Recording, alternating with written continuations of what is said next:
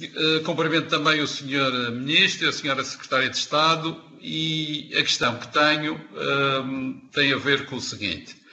Vão ser inevitáveis mais níveis de, de financiamento, o que vai levar a níveis substancialmente superiores de endividamento público em todos os países da União uh, Europeia.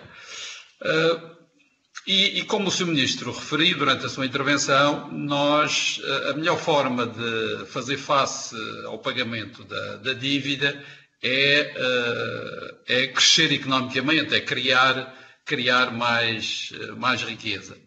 Ora, nós temos no, no mercado interno ainda um enorme potencial de criação de riqueza.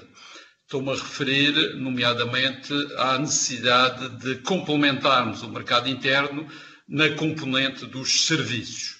O mercado interno funciona de uma forma muito restrita, apenas uh, relativo aos bens, à, à, liberdade de circulação de bens uh, e, à, e, à, e, à, concorrência nesse, nesse, nesse setor, mas relativamente aos serviços, as intenções da Comissão Europeia for, ficaram, há muito, ficaram há muito secundarizadas, há 20 anos que se deixou de dar prioridade à necessidade de completar o mercado interno, nomeadamente na, na componente dos serviços. O Sr. Ministro, na sua intervenção, referiu que uma das lições da crise uh, era, era, era precisamente sublinhar a importância do mercado interno e irmos repescar alguns dossiês adormecidos há muito, no, neste caso concreto do, do, do, do, mercado interno relativamente aos, aos serviços.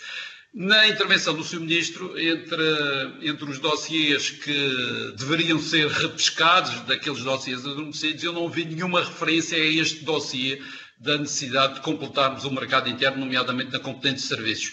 Esta, e a pergunta que lhe deixo muito claramente, Sr. Ministro, é precisamente esta. Este é também um dos dossiês que estavam esquecidos que vão ser repescados? Muito obrigado.